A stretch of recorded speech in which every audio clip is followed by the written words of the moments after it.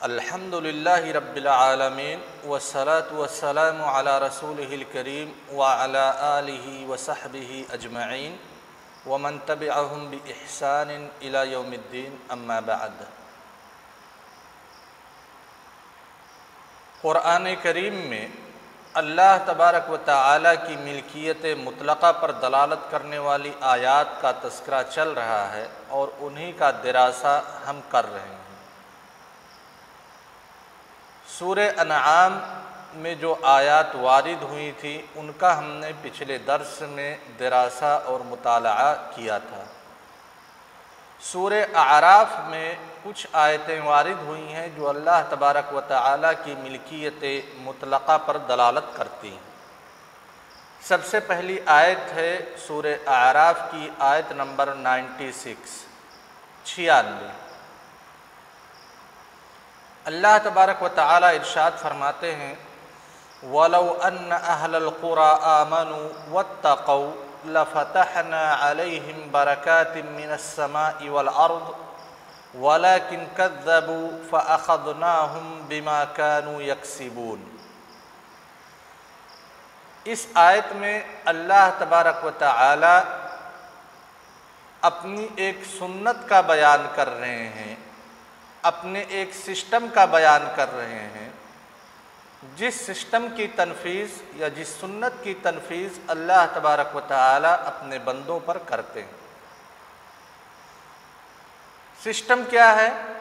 कहा, वलो अन्न अहलक़ुरा अगर बस्ती वाले आमनु, ईमान लाते व तक़ो और अल्लाह तबारक व ताली का तकवा इख्तियार करते बस्ती वाले, जैसे कि अहले मक्का ईमान लेकर के आए तो अल्लाह तबारक व ताली ने अहले मक्का के लिए रिस्क के दरवाज़े खोल दिए। ऐसे ही ये बस्ती वाले, असल में तस्करा चल रहा है, उन लोगों का जो लोग, यानी इससे पहले जो आए है जो लोग कुफ्र करते हैं और अपने अम्बिया की तकदीब करते हैं। अल्लाह ताला अम्बिया कराम को भेजता है ताकि अल्लाह ताला की बात लोगों तक पहुँचाए और लोग उन बातों पे अमल करके दीनों दुनिया की सआदत हासिल करें। लेकिन जब अम्बिया कराम आते हैं और दावत को लोगों के दरमियान आम करने की कोशिश करते हैं तो वो लोग अम्बिया कराम को झुठला देते हैं। ऐसे ही लोगों का तस्करा अल्लाह तबारक व ताली कर रहे हैं और कहते हैं कि अगर ये बस्ती वाले जो अम्बिया की तकदीब कर रहे हैं अम्बिया को झुठला रहे हैं, अगर ईमान लाते और अल्लाह ताला का तकवा इख्तियार करते, ईमान के जो सारे अज्जा हैं, अरकान हैं, हर एक पर ईमान लाते अल्लाह को अल्लाह मानते, अल्लाह पर ईमान लाते और जो अपने आप को रसूल कह रहा है अल्लाह ताला का, उसको भी, उस पर भी ईमान लाते और तकवा इख्तियार करते। यानी जिन चीज़ों से अल्लाह तबारक व ताली ने रोका है, उनसे बाज आ जाते। जैसे शिरक से रोका है, शिरक से बाज आ जाते। फवाहिश के इरतकब से जो ज़मीन में फसाद बर्पा होता है उन फवाहिश के इरतकब से बाज आ जाते। तो अल्लाह तबारक वाली क्या करते? लफ़तहन अलैहिम बरकातिम मिनस्समा वल अर्द। यानी हम उनके ऊपर आसमान से बारिश का नज़ूल करते और वो बारिश जिसे हम रहमत के नाम से जानते हैं उस बारिश का नज़ूल करते, जो बारिश सूखी ज़मीन पे पड़ती है तो उसे सरसब्ज व शादाब कर देती है। लोगों के लिए पीने के पानी को फराहम करती हम उस बारिश को नाजिल करते, यानी आसमान से खैरात के दरवाज़े इनके लिए खोल देते और ज़मीन से भी खैरात व बरक़ात के दरवाज़े खोल देते। लिहाजा ज़मीन से हम इनके लिए किस्म किस्म के फल और गल्ला जात उगाते इनके लिए मादिन और कनूज़ फराहम करते और इनको वो मारिफ अता करते जो मारिफ अल्लाह तबारक व ताली ही के ज़रिया से अता की जाती हैं। और जिन मारिफ का सहारा लेकर के, उनकी मदद लेकर के यह लोग अल्लाह तबारक व ताली की सुनने कौनिया को समझ सकते हैं। लेकिन कब ये सारी चीज़ें होती? आसमान के, आसमान से खैरात के दरवाज़े कब खोल दिए जाते? बरक़ात के दरवाज़े कब खोले जाते? ज़मीन के बरक़ात के दरवाज़े कब खोले जाते? कब इनको मारिफ अता किया जाता? उस वक्त जब ये लोग ईमान लाते और अल्लाह ताला से तकवा इख्तियार करते। यानी, अगर ईमान लेकर के आए लोग तो अल्लाह तबारक व ताली हर एक जानब से मोमिनों के लिए खैर के हर एक दरवाज़े को खोल देता है और खैर और मनफ़ात की चीज़ें मोमिन के लिए आसान कर देता है। यह आयत इस बात पर वाज दलील है कि ईमान सही, सआदत, खुशी, रखा का सबब है। यानी अगर हम खुशहाली चाहते हैं, सआदत चाहते हैं तो उसके लिए ईमान सही लाना ज़रूरी वलो अन्न अहलकुरा आमनु व तकौ अगर ईमान लाते, तकवा इख्तियार करते, तब ये खुशी के दरवाजे, खुशहाली के दरवाजे हम इनके ऊपर खोलते। इसका मफहूम मुखालिफ क्या हुआ? मफहूम मुखालिफ को अल्लाह ताला ने अगले जुजिया में बयान किया है कि अगर ईमान नहीं लेकर के आएँगे, रसूलों की तकदीब करेंगे तो उसका अंजाम क्या होगा? उस पर बहस करते हुए अल्लाह तबारक ताली ने फरमाया, वलाकिन कदबू लेकिन ये अहले करिया, ये बस्ती वाले अपने अम्बिया की तकदीब करते हैं, अल्लाह की तकदीब करते हैं, तकवा नहीं इख्तियार करते, फवाहिश और गुनाहों का इरतकब करके ज़मीन में फसाद फैलाते हैं। लिहाजा फ़द ना हम बिमा कानू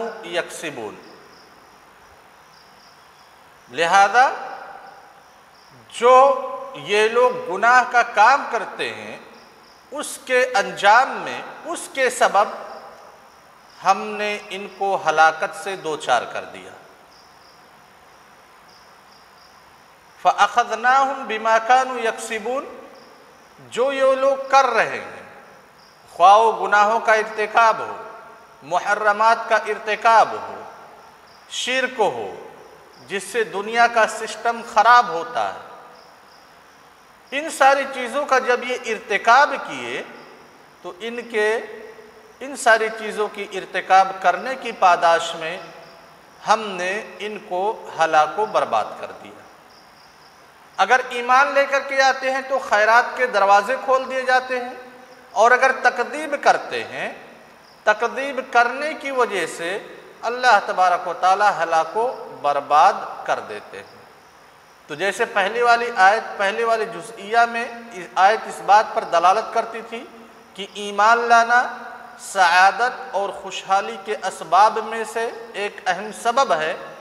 वैसे ही कुफ्र करना, अल्लाह के आयात की तकदीब करना अम्बिया की तकदीब करना, गुनाहों का इरतकब करना, ये हलाकत और बर्बादी के इसबाब में से एक सबब है।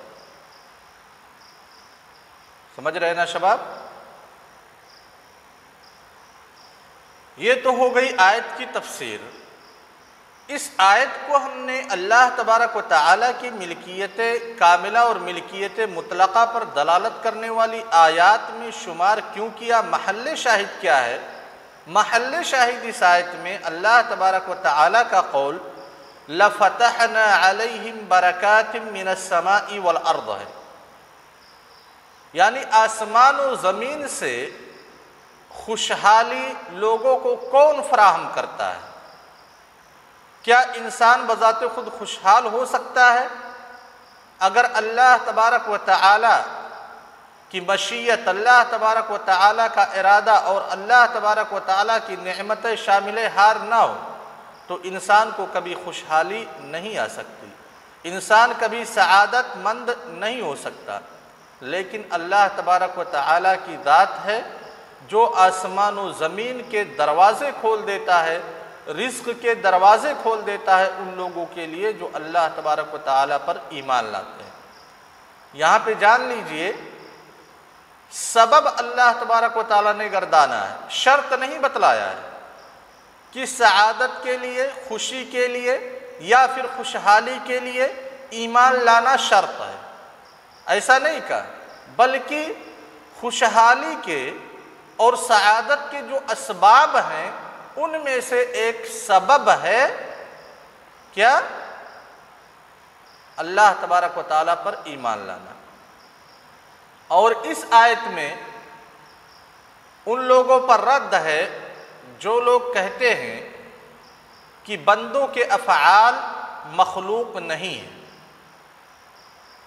जिन्हें हम कदरिया कहते हैं।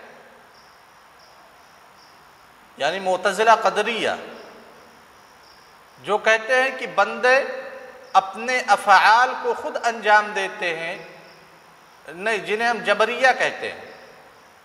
कदरिया जबरिया, जो ये कहते हैं कि बंदे अपने अफ़ाल के कुछ भी मालिक नहीं हैं, बल्कि सारी की सारी चीज़ें अल्लाह तबारक व ताली की मशीयत और इरादे के मुताबिक वाक़ होती हैं और बंदा मजबूर महद है। एक आला की तरह से। उनके ऊपर रद्द है इस आयत में, क्योंकि अल्लाह ताला ने कहा फ़अख़दना हम बिमा कानू यकसीबून। काम की नस्बत, चाहे वो गुनाहों का इरतकब हो या फवाहिश का इरतकब हो या तकदीब हो, उसकी नस्बत अल्लाह तबारक ताली ने बंदों की तरफ़ की, अहल करिया की तरफ़ की। यानी बंदे अपने अफ़ाल को ख़ुद अंजाम देते हैं, अल्लाह तबारक ताली ने इनको मजबूर महज नहीं बनाया है। दूसरी आयत, सूर आराफी की आयत नंबर एक सौ अट्ठावन, अल्लाह तबारक ताली इरशाद फरमाते हैं, कुल यासुन्नी रसूलुल्लाहिकुम जमीअन अल्लदी लहू मुल्कुस्समावाति वल अर्द, ला इलाहा इल्ला हुवा युही व युमीत। फ़ामिनु बिल्लाहि व रसूलि। अन्नबील उम्मी। अल्लदी युमिनु बिल्लाहि व कलिमाति। वत्तबिऊहु ये सूर आराफ, आयत नंबर 158 एक सौ अट्ठावन। अल्लाह ताला इस आयत में नबी करीम सल्लल्लाहु अलैहि वसल्लम को खिताब करके कह रहे हैं, कुल यानी ए मोहम्मद सल्लल्लाहु अलैहि वसल्लम, आप कह दीजिए, या अयुहन्नास किन से मुखातब होना है नबी सल्लल्लाहु अलैहि वसल्लम को तमाम बशरियत से? चाहे वो अरब हों या गैर अरब हों, बग़ैर किसी तफरीक़ के, क्या कह दीजिए आप तमाम लोगों से, इन्नी रसूलुल्लाहिकुम जमीअन, कि मैं तुम तमाम लोगों की तरफ़ अल्लाह का पैगाम्बर बना करके भेजा गया हूँ। लिहाजा कौम अरब ही मेरे असल मुखातब नहीं है। अरब कौम का ही मैं रसूल नहीं हूँ, बल्कि हर एक कौम के लिए मैं रसूल बना करके भेजा गया हूँ। हर एक वक्त के लिए यहाँ तक कि क़ियामत कायम हो जाए, जितनी कौमें पाई जाती हैं या जहाँ भी इंसान पाए जाते हैं, जिस भी ज़माने में पाए जाएँगे, मैं उनके लिए रसूल बना करके भेजा गया हूँ। लिहाजा ये जुजिया दलालत करता है कि अल्लाह के रसूल सल्लल्लाहु अलैहि वसल्लम की रिसालत आम है उमूम पाया जा रहा है दुनिया के तमाम इंसानों के हक़ में। और बहुत सारी अहादीस में भी इसका तस्करा आया। अल्लाह के रसूल सल्लल्लाहु अलैहि वसल्लम की वो मशहूर हदीस है कि पाँच चीज़ें मुझे ऐसा अता, ऐसी अता की गई हैं जो मुझसे पहले किसी भी नबी को अता नहीं की गई थी। उनमें से एक चीज़ ये है कि मैं तमाम इंसानों के लिए रसूल बना करके भेजा गया हूँ। अल्लाह तबारक ताली ने दूसरी जगह पे इसी आयत की तायद में कहा, इसी फ़िक्रे की तायद में, वमा अरसलना का अल्ला रहमत आलमीन तो दूसरी जगह पे कहा, वमा अरसलना का इल्ला का से बशीर व नदीरा तीसरी आयत में कहा व ऊहियादलक़ुरान उन्दिरकुम बिही व मन बलग यानी ये क़ुरान जो हमारे असल मुखातब हैं, उनके लिए तो है ही, और उन लोगों के लिए भी है जिनको इस कुरान की दावत पहुँचती है, चाहे वो आज मौजूद हो या मफकूद, बाद में पाए जाए, कहीं पे भी पाए जाए, सारे लोगों के लिए हमारी रिसालत आम है। उसके बाद कहा, इन्नी रसूलुल्लाह जमी अल्लदी लहू अर्द। मैं किस अल्लाह का रसूल हूँ? किस अल्लाह का पैगंबर हूँ? अल्लादी लहू मुल्कुसमावाती वल अर्द। उस अल्लाह का पैगंबर हूँ, उस अल्लाह का रसूल हूँ, जिसके इख्तसास में, जिसकी मिल्कियत में आसमान व ज़मीन की बादशाहत है।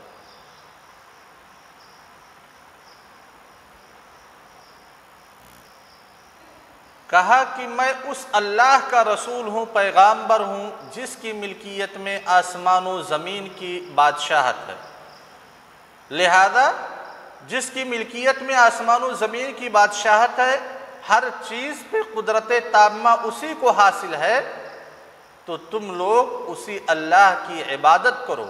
वही इबादत के लायक है, वही सिर्फ़ मबूद है, उसके अलावा कोई मबूद नहीं हो सकता। कहा यू ही व युमीत।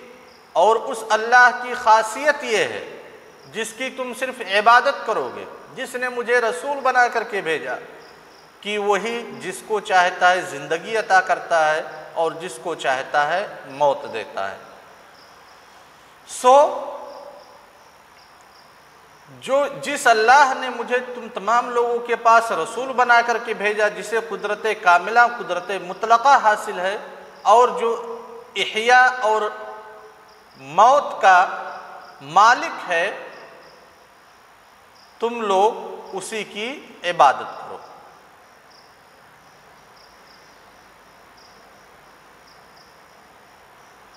इस आयत में आगे फरमाया फ़ामिन बिल्लाहि व रसूल नबी उम्मी लदीमिन बिल्लाहि व कलिमात व तबीकुम तहतदून। लिहाजा उस अल्लाह पर ईमान लाओ, रसूल पर ईमान लाओ, और उस रसूल की इत्तबा करो अगर तुम हिदायत चाहते हो। लकुम तहतदून, ताकि तुम लोग हिदायत याफ्ता हो जाओ। हिदायत याफ्ता होने का मतलब यह है तुम्हें गाइडलाइन फराहम कर दी जाए, और तुम उस गाइडलाइन पे चल सको। वो गाइडलाइन ख्वाह दुनिया के लिए हो या आखरत के लिए? दुनिया में ज़िंदगी गुजारने की भी गाइडलाइन मौजूद होगी और आखरत में तुम कैसे अल्लाह तबारक व ताली की नमतों से सरफराज हो सकते हो, उसकी भी गाइडलाइन मौजूद होगी। अगर तुम रसूल पर ईमान लाते हो और नबी पर ईमान लाते हो। इस आयत में अकीदा के जो तीन अनासर हैं, तीन अहम अनासर, उन तीनों अनासर का तस्करा किया गया है।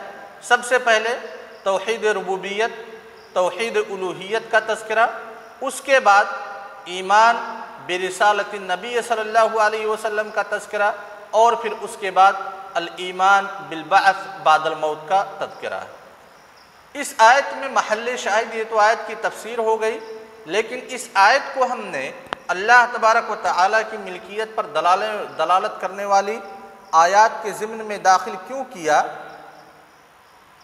महल शाहिद क्या है? अल्लाह तबारक व ताली का कौल अल्लदी लहू मुल्कसमावाती वल अर्द।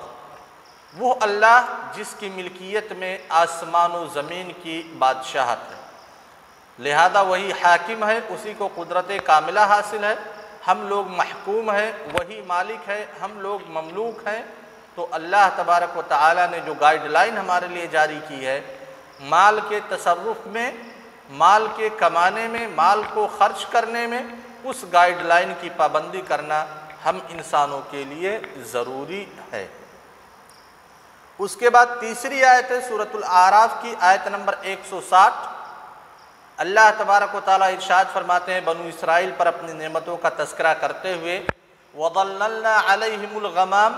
वानजलना अलहिमुलमन्ना वसलवा कुलू मिन तय्यबाति मा रज़क़नाकुम वमा ज़लमूना वलाकिन कानू अनफुसहुम यज़लिमून। इस आयत की तफसीर पहले गुज़र चुकी है। शुरू में सूर्य बकरा की जब आयत का मुताला और दरासा चल रहा था, लिहाजा इसके इआदे की ज़रूरत नहीं है। सिर्फ़ महल शाहिद हम बतला दे रहे हैं, कुलू मिन तय्यबाती मा रज़क़नाकुम। उन पाकिज़ा चीज़ों को खाओ जो हमने तुम्हें अता किया है। रिस्क की इजाफत अल्लाह तबारक वाली ने अपनी ज़ात की तरफ़ की। लिहाजा रज़ाक वही है, अता करने वाला वही है। हम इंसान अल्लाह तबारक व ताली की मर्ज़ी, अल्लाह तबारक व ताली के इरादे और मशीयत के बग़ैर चाहे जितनी जिद्दोजहद कर लें, हमको कुछ हासिल होने वाला नहीं है। जब अल्लाह तबारक व ताली हमें देंगे, तभी हम उन चीज़ों को पा सकते हैं, वरना नहीं हमें मिल सकता है। वसलकम वरहमतुल्लाहि वबरकatuh अब कल के दर्स में इन सूरतुल अनफाल में जो आयात वारिद हुई हैं, उनका दरासा होगा।